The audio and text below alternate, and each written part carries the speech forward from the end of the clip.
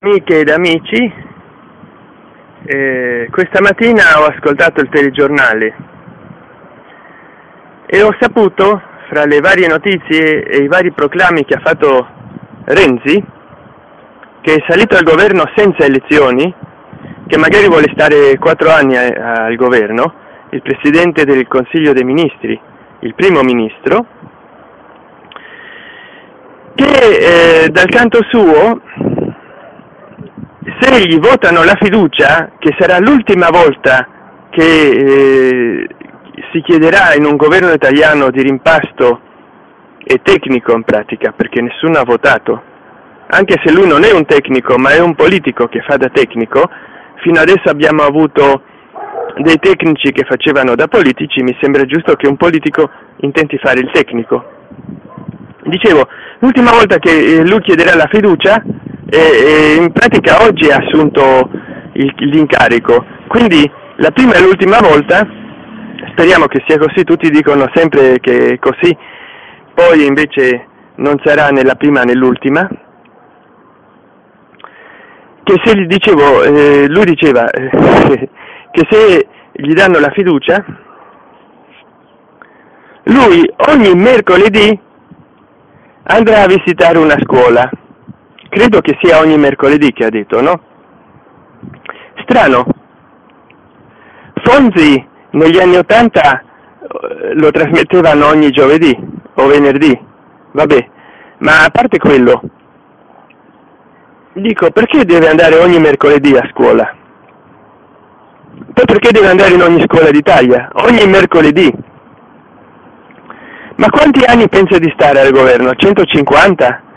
E a quali scuole andrà? Alle secondarie? Alle medie inferiori?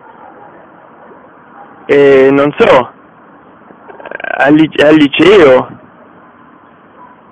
Alle elementari? Ma andrà aula per aula?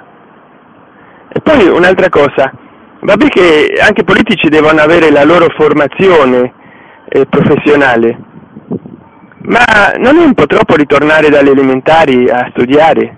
Perché no, non va a fare qualcosa all'università?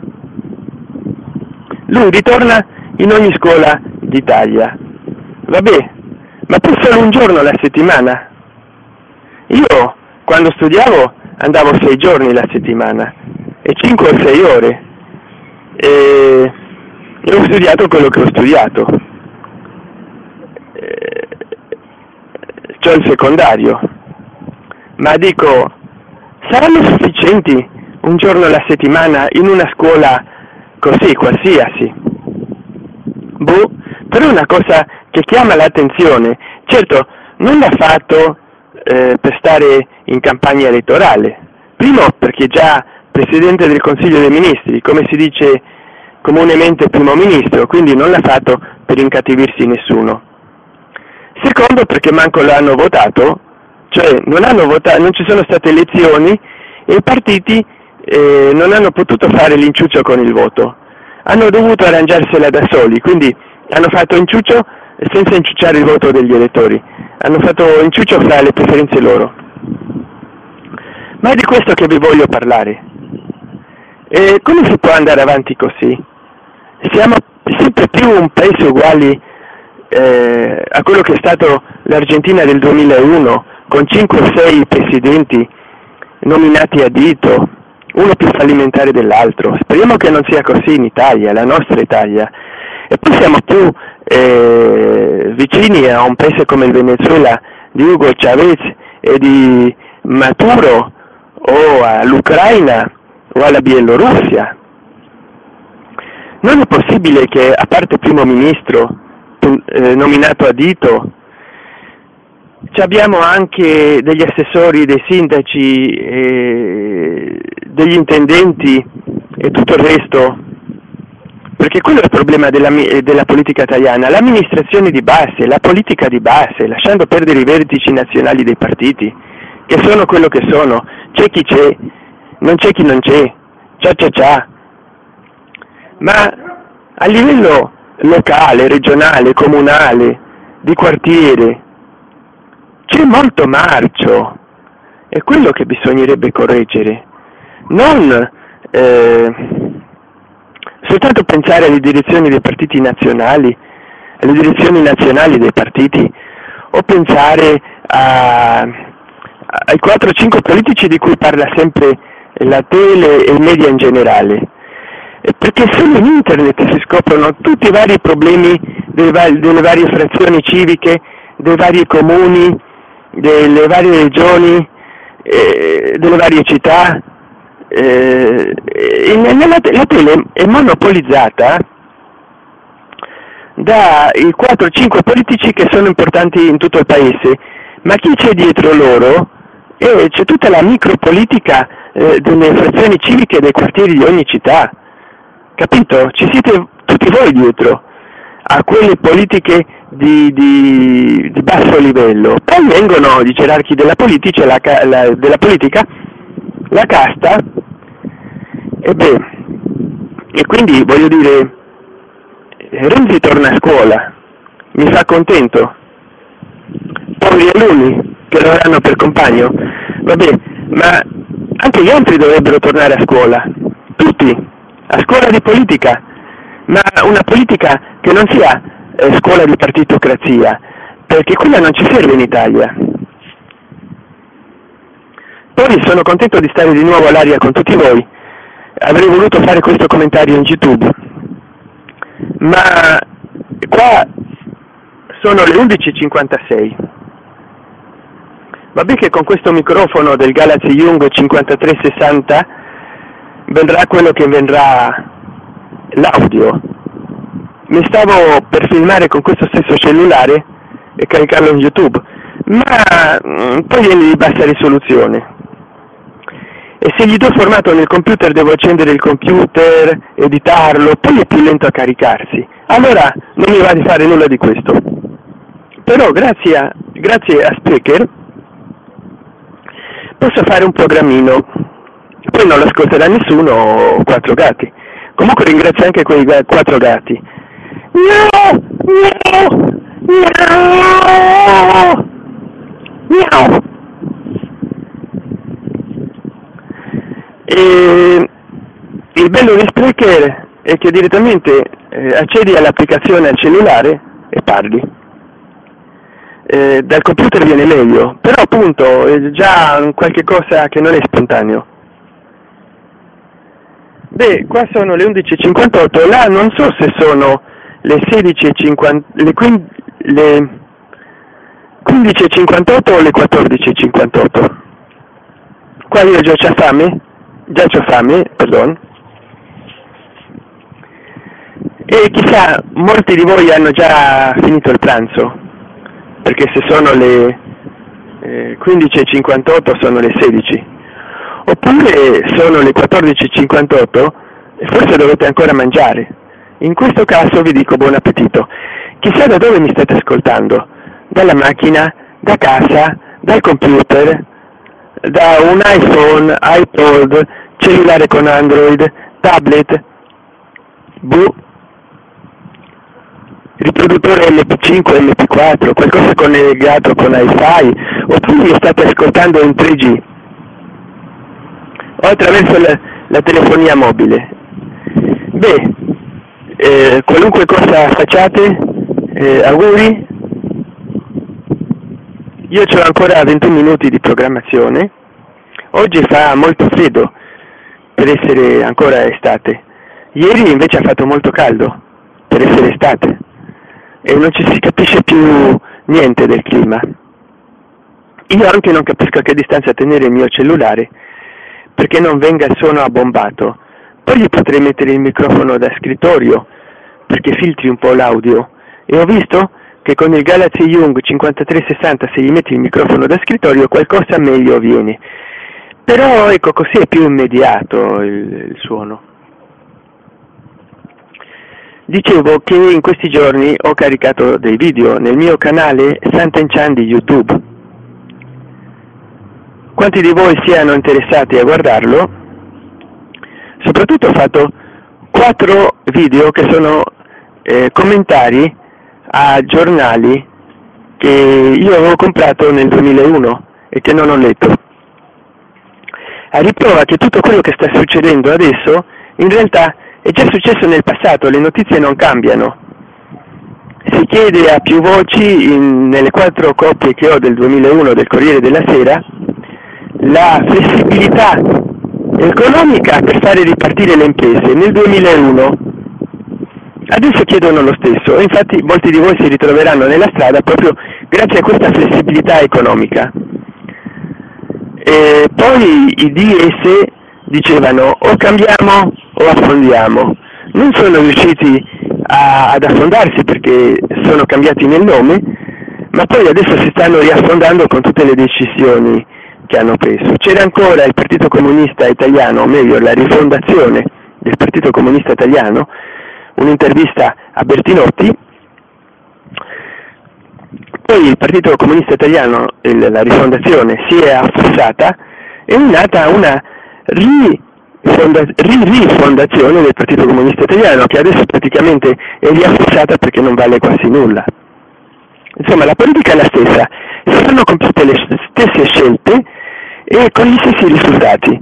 E si è reiterato tutto in questi ultimi 13 anni, da, da, quando ho comprato quei giornali, del Corriere della Sera del 2001. Che bello essere così conservatori nel senso che nulla cambia, qualsiasi stronzata continuino a fare e per sempre gli stessi risultati. È magico!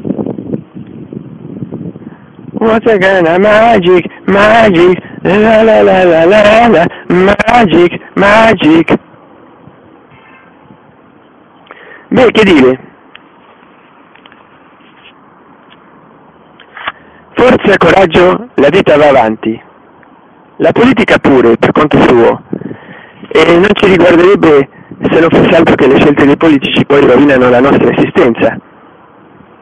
Perché tanto già stanno per i cazzi loro. Poi se non ci accettassero le loro scelte sarebbe un circo mediatico come lo è Sanremo. Ah, a proposito, io ho visto in che tempo che fa che mi sembra che tu non chiuso il televisore, l'ho spento. Certo, non l'avevo smontato, no? Eh, capite che il senso è quello. E, e a, un certo punto, quando gli è toccato dire le sue battute, le sue freddure, eh, per non dire feriace, alla carissima e bravissima Luciana Litizeto, invece sono stati intervistati dall'altro comico che di solito è il sabato che dice le sue battute, eh, le 12 cose più importanti, no? Evidentemente lì c'era solo due cose importanti da dire, eh, Fabrizio Fazio e Luciana Littizzetto. Luciana Littizzetto era incredibilmente seria, anzi direi di più, incazzata, e Fabrizio Fazio pure, che non si riusciva a scomporre doverosamente, però di protocollo diceva parolacce.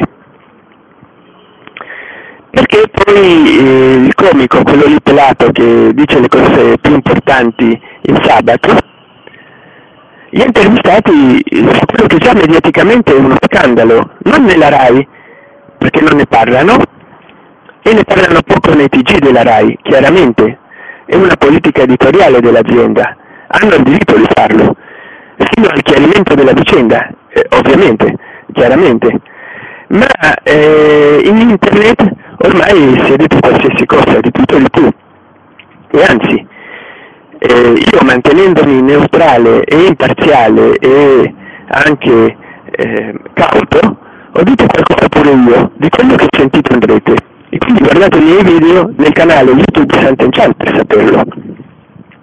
Certo, quelli che hanno per titolo Sanremo. Ma io stesso ho trovato una notizia che non è tendenziosa e stava sui giornali, che la procura di dove andremo, diciamo.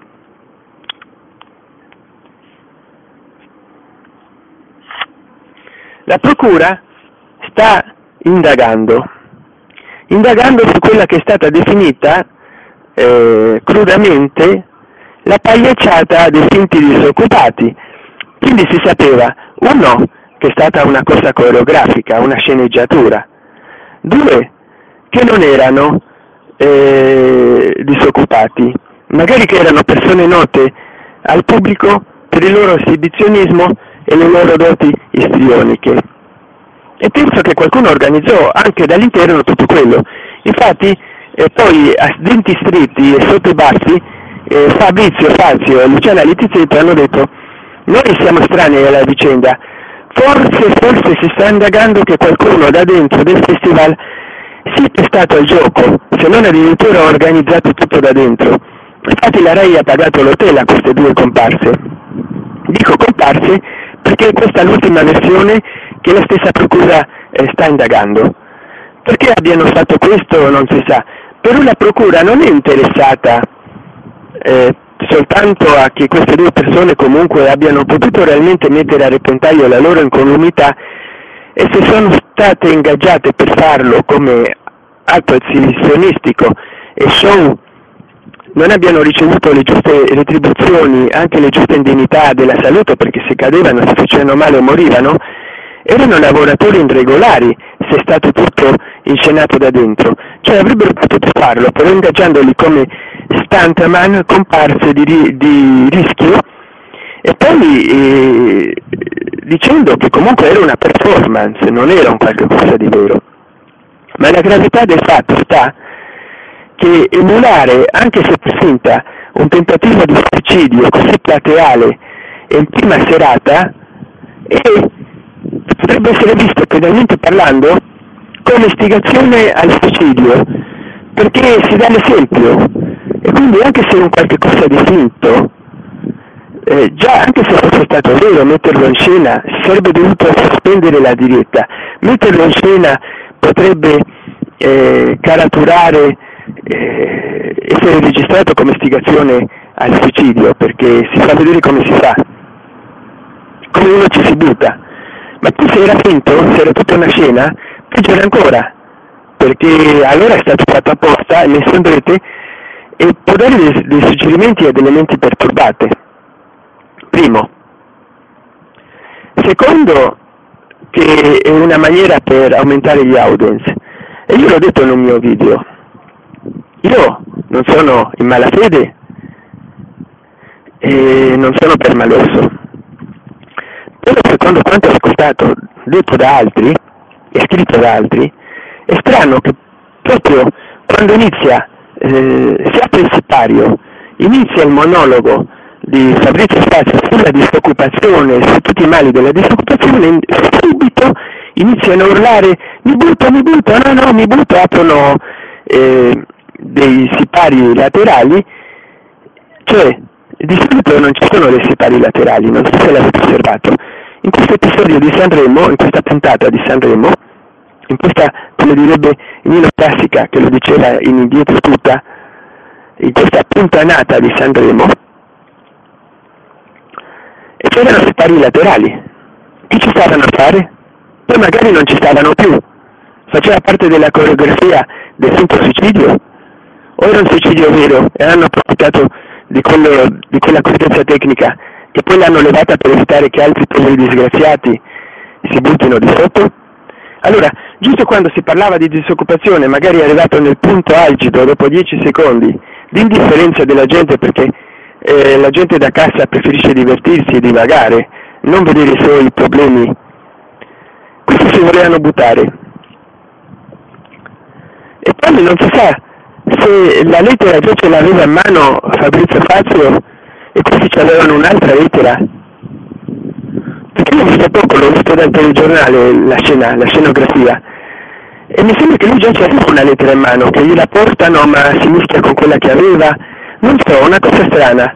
E poi parla del contenuto della lettera prima di leggerla. Che sono le cose che ha detto anche nell'introduzione di Sanremo. Ma io dico, uno che si va a suicidare a Sanremo, e lo fa nell'introduzione, che è il momento meno seguito in tutti i festival di Sanremo, che sono le parole, diciamo, di di prassi che vengono dette. Non è che eh, viene detto chissà che cosa. L'audience notoriamente a Sanremo all'inizio è molto basso, almeno nell'89 l'hanno seguito molti perché parlava Beppe Grillo e sputtanava la RAI, come anche adesso fa.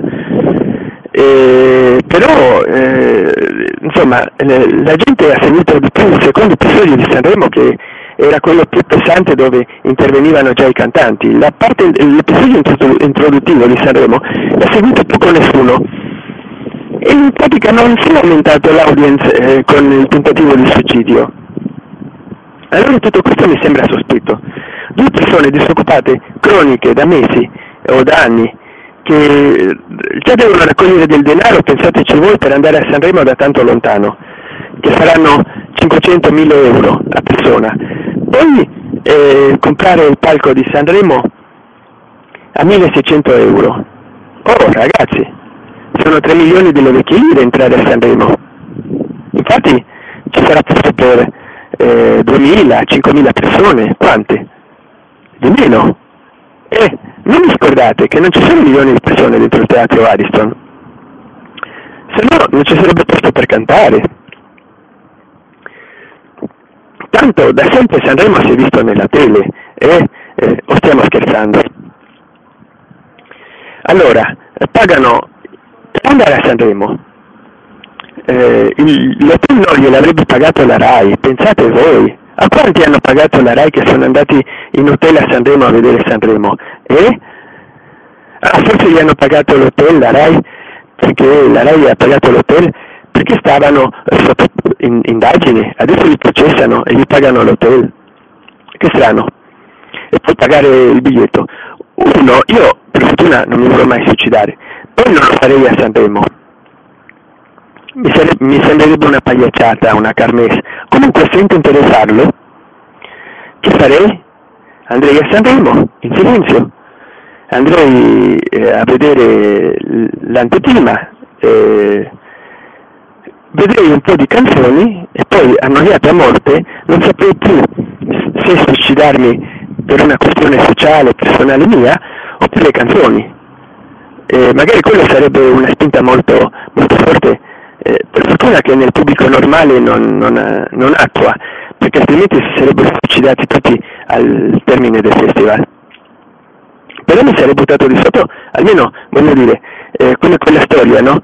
Di due esploratori inglesi in Africa che sono catturati da una tribù indigena, li legano e uno dei due eh, cioè no, aspetta, eh, mi viene il capo del villaggio, loro sono centinaia e gli dicono eh, voi potete scegliere o bunga bunga o te sgozzamo e poi magari ti mangiamo pure.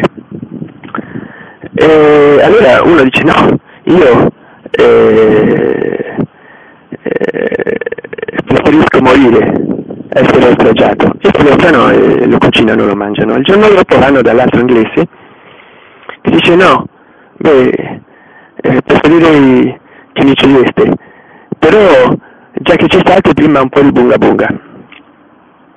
Allora, già che ci stava, vabbè, si faceva serviziare non si faceva ammazzare, no?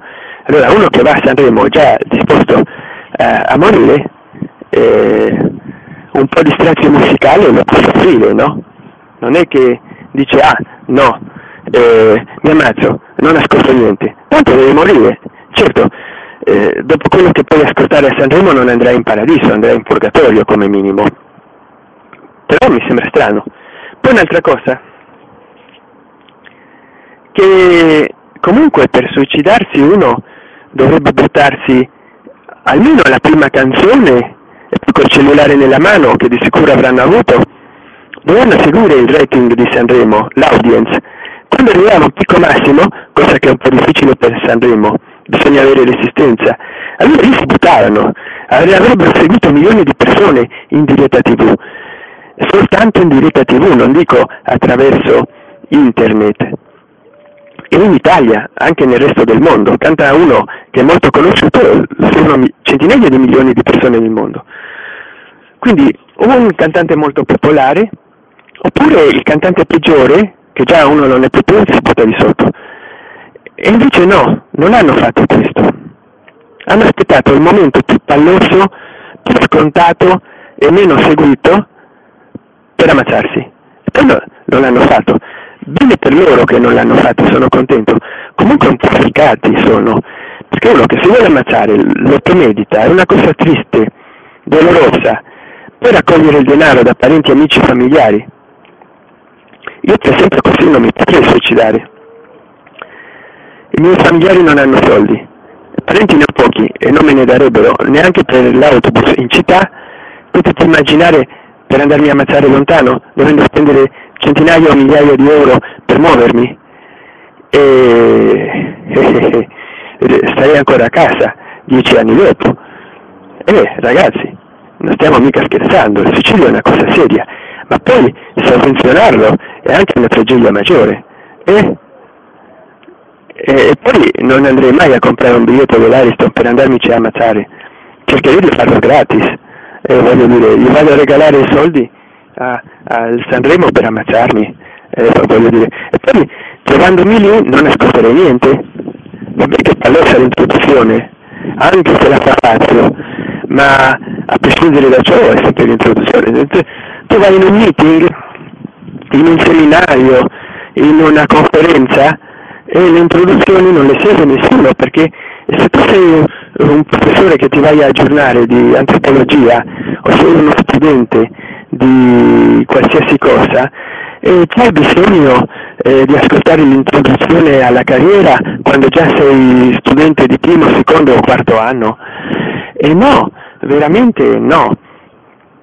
Credo che puoi anche saltare l'introduzione. Quanti eh, che sono professori di una materia vanno ad ascoltare l'introduzione in una disciplina? E eh, nessuno, vanno al secondo giorno. Solo gli, studi- gli studenti che iniziano devono andare perché hanno l'obbligo di frequenza, ma eh, quasi nessuno ascolta perché l'introduzione c'è pure nei libri che ti spiegano di nuovo. Beh, si direbbe che questi eh, sono, sono, stati classificati, spendere così tanto nel viaggio, eh, andare eh, a spendere nel biglietto di Sanremo per ammazzarsi nell'introduzione dove nessuno li avrebbe seguiti. È stato più uno scandalo mediatico che non uno scandalo dal vivo. Per fortuna che Mamma Rai gli ha pagato i biglietti del soggiorno dell'hotel. Poi non si sa che precedenti avessero queste persone. Magari eh, erano disoccupati attori. Comunque il tono serio con il quale Litizzetto e Fazio eh, hanno replicato nel loro stesso programma, incazzatissimi, io credo che eh, la Litizzetto non abbia neanche detto ieri una sola battuta umoristica delle sue, perché stanno in un momento eh, grave, nel senso che possono essere imputati per coazione in un fatto doloso. Il fatto è che anche se fosse stato un suicidio autentico, perché di pazzi in giro ce ne sono tanti, e, e che non hanno pensato di suicidarsi subito eh, buttandosi quando cantava il miglior cantante o il peggiore, generando e quindi com- reale commozione, perché già c'è stato un suicidio a Sanremo, quello di Tenco, che addirittura si è sparato nella camera d'hotel senza dire niente. Quindi è un qualche cosa che non si sa se lo hanno ammazzato. Comunque, se uno si vuole ammazzare non lo dice, lascia una lettera. Questo che abbiano fatto eh, lettere suicide in quadruplice coppia le abbiano distribuite, poi stavano così avvinghiati, addirittura mi sembra che c'avevano un cavo di sicurezza legato alla cintura, eh, li guardavano da lontano senza intervenire, senza vol... è una cosa pazzesca, poi stavano in un luogo che non era molto insicuro da buttarsi.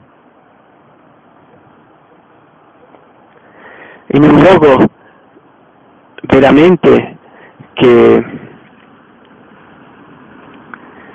che lascia, lascia, dicevo, dei sospetti. Beh, adesso se mi finisce il tempo, ho 36 secondi.